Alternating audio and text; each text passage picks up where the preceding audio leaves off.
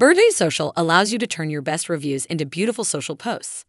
This improves your business credibility through social proof and encourages your new customers to write fresh reviews.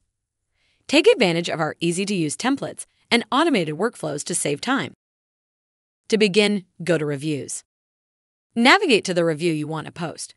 Click on the Actions button and select the Share on Social option from the drop down menu. Note, if a post has already been shared, the Shared on Media icons will appear as displayed here.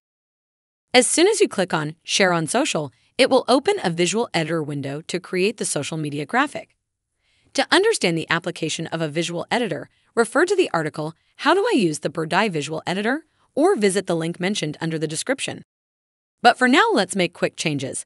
Click on Upload Image to upload one of your own or choose a predefined template that Birdeye provides based on different industry verticals.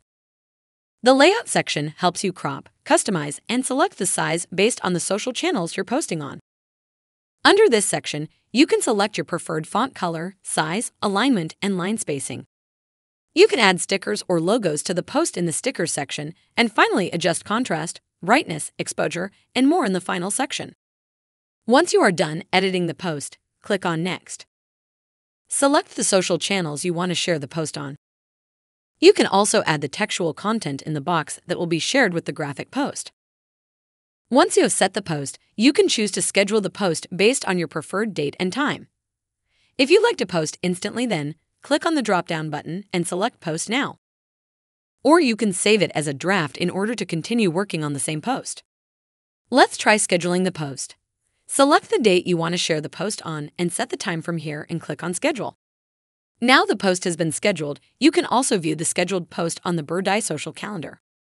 To view the scheduled post, go to the Social tab, and on this page, you can view the scheduled post right under the date you chose to schedule for. Hope you found this video helpful. For more how to videos, subscribe to our Birdeye YouTube channel.